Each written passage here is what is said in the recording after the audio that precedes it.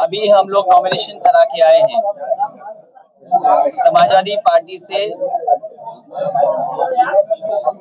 डिम्पल यादव यहाँ की प्रत्याशी, उसके लिए फॉर्म भर करके हम लोग आए हैं। ये चुनाव मैनपुरी का उन परिस्थितियों में होने जा रहा है जब नेताजी हमारे बीच में नहीं है। नेताजी और इस क्षेत्र की जनता से सीधा सीधा लगाव रहा है। नेताजी की अपनी शुरुआत और राजनीति का पूरा का पूरा संघर्ष यही मैनपुरी से और मैनपुरी की जनता के साथ और उन जनता के सहयोग और आशीर्वाद से ही आगे बढ़े हैं। आज जब नेताजी बीच में नहीं है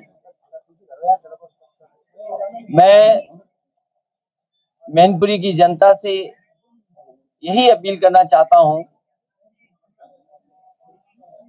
कि नेताजी के जो बताए हुए रास्ते पे हम सब चलेंगे। नेताजी का दिखाया हुआ रास्ता, जो राजनीतिक सम्मान